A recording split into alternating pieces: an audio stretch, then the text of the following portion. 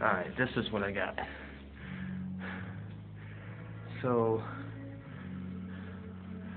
this was about 10 minutes worth of work, but, uh, that spot where that fan was catching, motherfucker, it's hot. It's all good.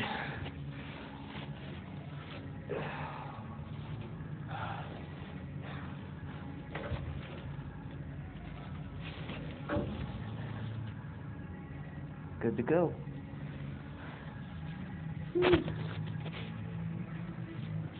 Got a little, little dirty.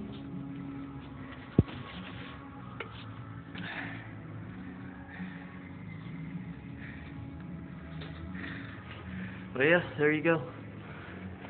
Clean as a, uh, well, I don't know. It's good for now, though. That bit shouldn't knock anymore on that side. I'm gonna get out of here. It's time to go anyway.